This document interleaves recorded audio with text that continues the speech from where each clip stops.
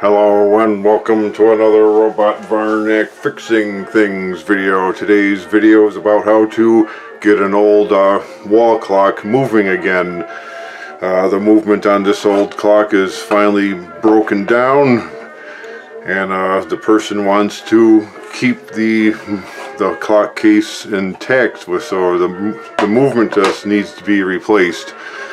So if you want to find a new clock movement, you just do an internet search for quartz clock movement. There's a bunch of companies out there that sell them.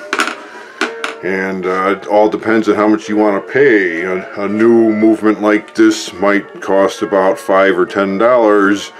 And if you a new clock might be five or ten dollars, so you buy a cheap Chinese import. This is a one of those old vintage Spartus quartz clocks. So let me know in the comments if you uh, had a Spartus clock movement in your time and what you think of them, if they're good clocks or not. The only thing is Spartus has been out of business some years now, I believe. I don't know who owns the trademark now, but uh, they're not in production anymore. and some of the old timers like the old uh, style of the Spartus clocks out there and that's why this person wants to uh, get this clock running again in the same clock cabinet. So if uh, if you don't want to pay uh, say $10 for a, just an ordinary movement when you can buy a whole new clock for $10 uh, you have to be careful with your money but the purpose of this video is well before we get started uh, remember to like subscribe and comment. Let me know what you think of this video. If you want to see more make sure you subscribe and all that and do whatever you need to do to see more videos. So let's get started. You'll need a pair of needle nose pliers a little flathead screwdriver and the uh, thing is to these uh, new clocks are pretty much made all the same. It's a plastic face, uh, plastic uh, lens here that you pull off. And if you look in the back, there's usually plastic tabs that hold the plastic lens in place. So there's a couple ways to do it. Uh, you can press the screwdriver in there to unlatch it. Or if since it's big like these old old uh, Spartus movements, you could just uh, kind of press down on there and take the thing, take the lens off. Yeah, and make sure you don't have any uh, really bad uh, scratches on there, or, or, you could polish it off, polish the plastic if it's scratched. And examine uh, the, the movement here. So you pull, a lot of the second hands are friction fit with a little pin on there. If you could see it, little pin in there, see that? There's a little pin in there that rotates we go a second. So now use your pair of needle nose pliers and take the take the nut off for the second hand minute hand there. That's it, the minute hand. So the minute hand is taken off.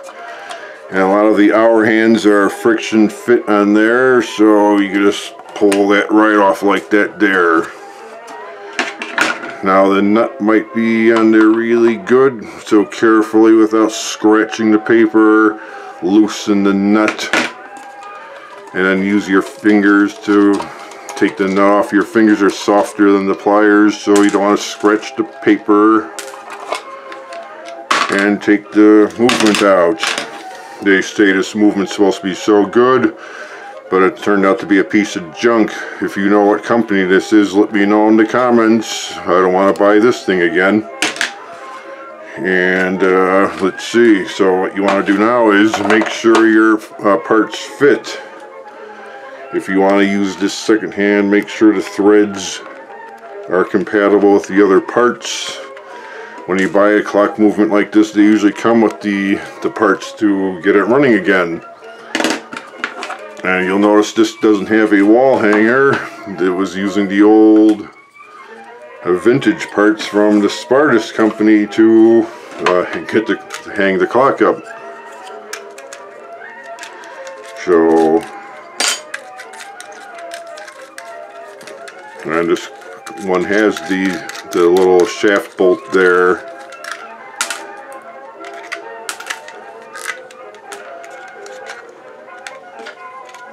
So you want to make sure your hanger fits there good like that.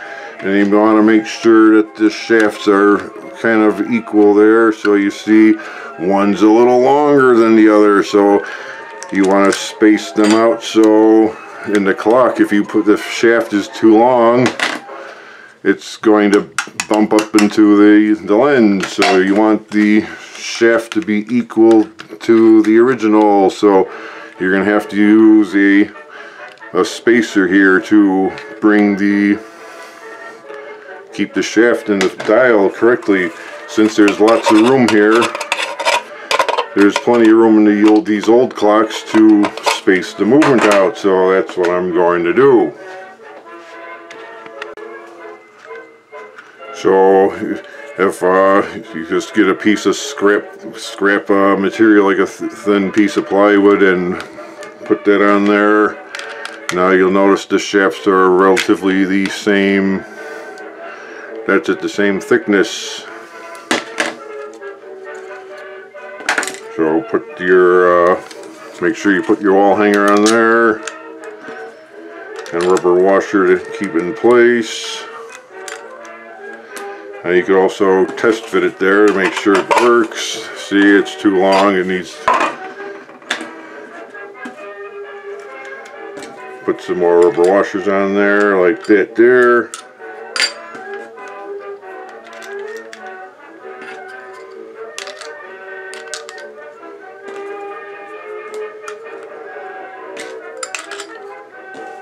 So you want to space it out to see now enough room in there for the, the movement.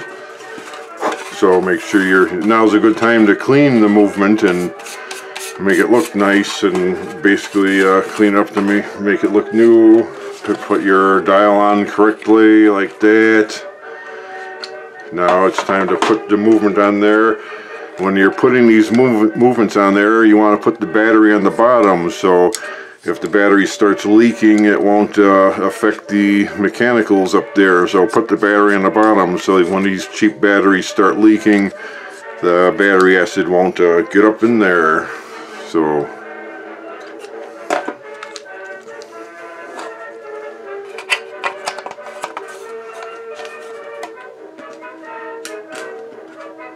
And when you put your uh, washer in there make sure you put the shiny side up because a lot of them are punched pressed and you have see it has a uh, roughed edges on there. So you want the nice shiny side up.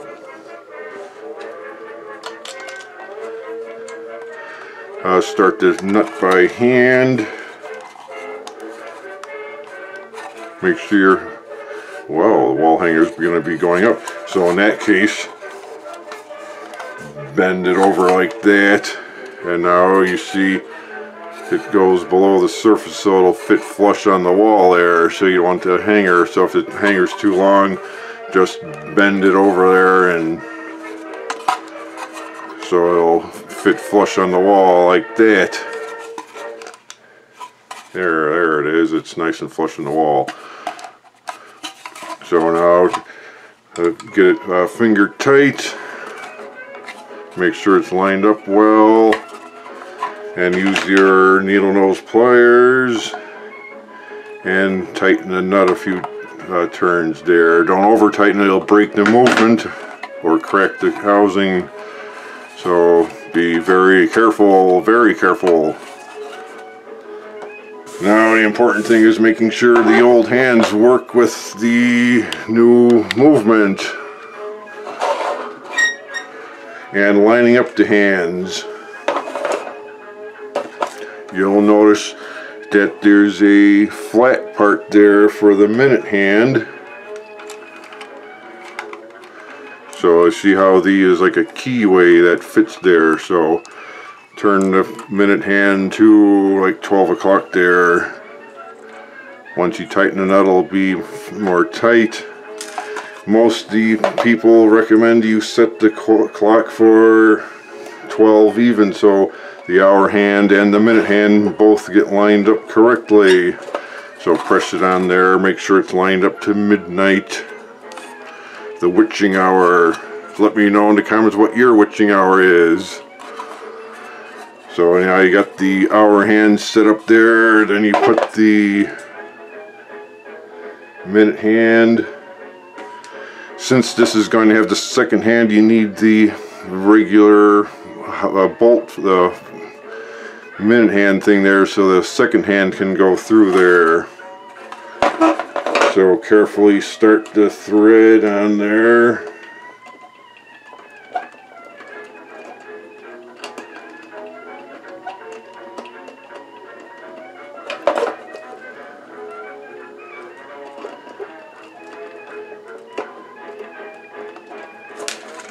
Get on there finger tight.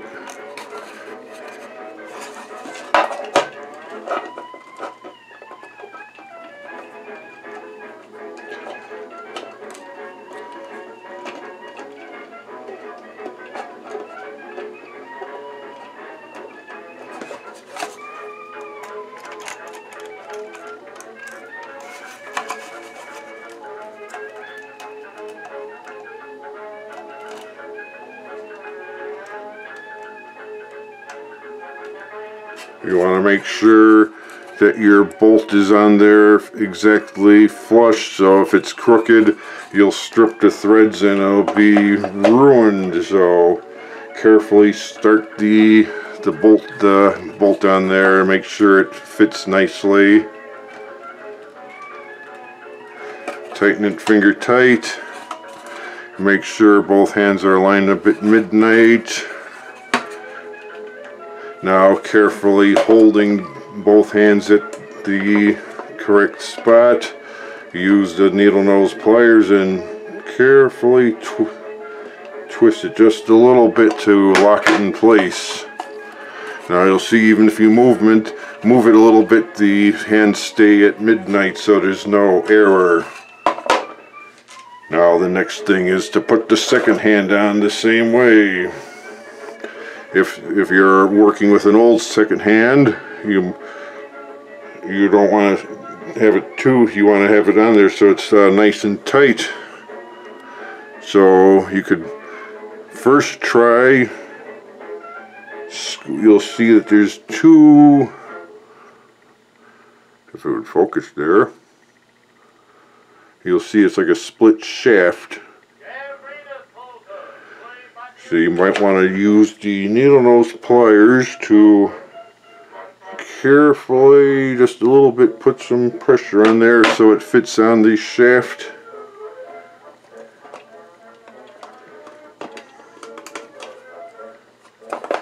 So now all three hands are lined up at midnight.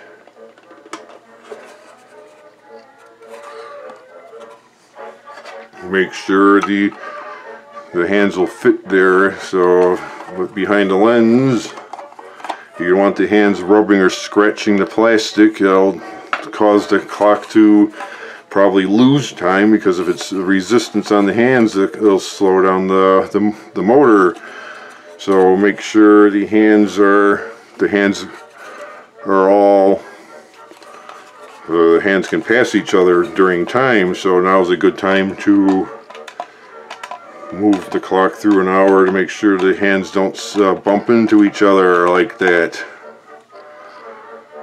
So make sure now it's 1 o'clock you see the hour hand correctly pointing at 1 so now you can put the lens back on. And there, all, that's all there is to it now. Go ahead and here's another tip folks.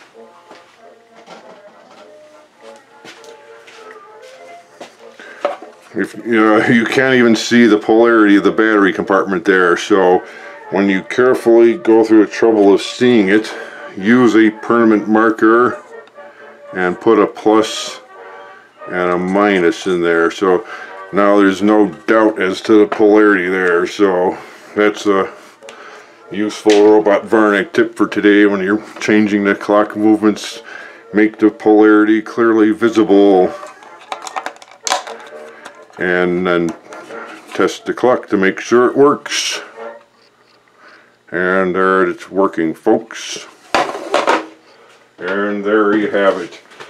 So remember to like, subscribe, and comment, and let me know what you think of this uh, video. Would it be worth saving an old, uh, an old, uh, I'm not sure how old this clock is. If you know, if you know how old this clock is, let me know in the comments, because the, the, the person is very attached to this thing, and I don't see why. It's, it's, crazy to me when you can get a brand new clock for $10 in the store or, or on the internet. So make sure you like, subscribe, and comment. And that's it for now. Come again for another fun and exciting Robot VARNAC video. Goodbye for now.